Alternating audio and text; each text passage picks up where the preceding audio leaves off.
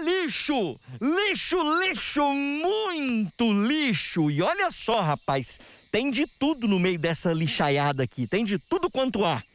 Tem restos de, de roupas usadas, tem, olha só, até um, um vaso sanitário, brinquedos, pneus. Olha aqui, o Andrezinho Almeida vai mostrar para você até um forro de porta de um carro jogado fora aí, papelão, enfim, uma lixaiada danada.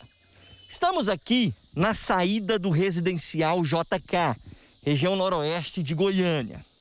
Essa estrada dá acesso a uma região de chácaras.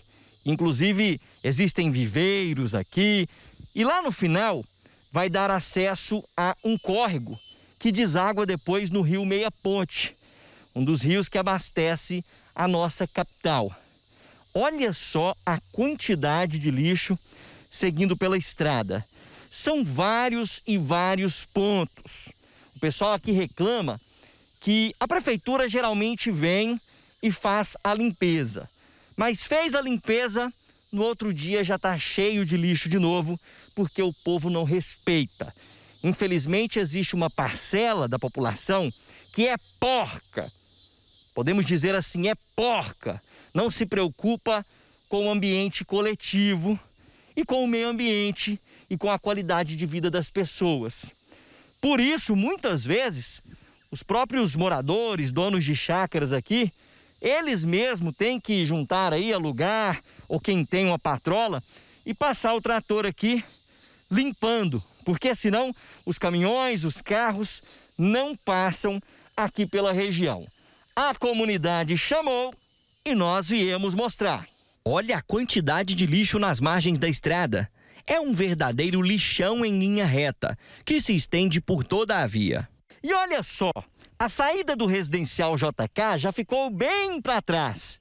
E aí nos cantos da via é lixo, lixo, lixo e mais lixo. Por aqui já não se mede mais em quilos ou toneladas a quantidade de lixo, mas sim em quilômetros. Olha só quanto lixo. E o problema é antigo, né, Flávia? Isso, o problema vem acontecendo há muitos anos e a gente tem dificuldade de passar os nossos caminhão, das pessoas fazer entrega para a gente, nossos clientes chegar até o viveiro. Então, a prefeitura de vez em quando ainda vinha e acumulava o lixo nas beiradas. E quando Só chovia, empurrava para o canto. Isso. Aí quando chove, o lixo desce e vai para o meia ponte. E o lixo vai só se acumulando. Só acumulando, a dificuldade da gente passar é muito grande. Hoje mesmo eu não vim trabalhar porque meu pneu furou devido ao tanto de lixo que, que e o mau tem na cheiro? estrada. É um mau cheiro danado. Não, hoje mesmo jogaram uma carniça ali e os meninos estavam que vêm de a pé, estavam reclamando do lixo, da sujeira, do mau cheiro.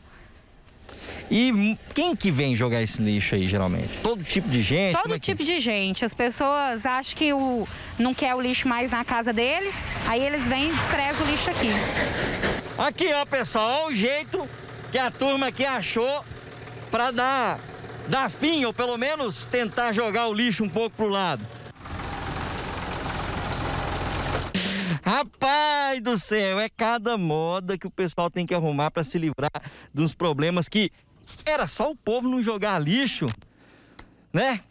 Com certeza. Já teve alguém aqui que falou pra mim assim, velho de 60 anos igual eu mesmo, falei pra ele, rapaz, você tá jogando lixo aí, como é que vai virar seus netos daqui uns 20, 30 anos? Eu quero saber de neto. Falei, rapaz, mas você não pode fazer isso. Liga pra prefeitura. Não é ligar só pra prefeitura. Nós também temos que fazer nossa parte. Você vai chamar a prefeitura- atenção, vai chamar a atenção de quem vem jogar o lixo, às vezes até corre risco de ser agredido ou coisa pior. Já fui agredido aqui. Já fui agredido, já nego já arrancou até arma aqui pra mim. Entendeu? Às vezes eu, até por isso eu parei de falar. Aí Cara tô- sem vergonha, jogando lixo no local onde não pode, é claro, não tem que jogar lixo em local nenhum. O cara jogando lixo sem vergonha e ainda ameaça. Com certeza. A ameaça aqui é o que a gente mais tem aqui. Não só a prefeitura e o povo também criar consciência de não jogar mais lixo, né? E aí o senhor tem que tentar fazer igual a gente fez ali agora, vou pedir pro Andrezinho mostrar, olha aqui, ó. Tem que pegar o trator às vezes e tentar jogar jogar o lixo pro canto aí, porque senão os carros não passam aqui. Com certeza. É, quase toda semana eu tenho que vir com o trator aqui e empurrar o lixo.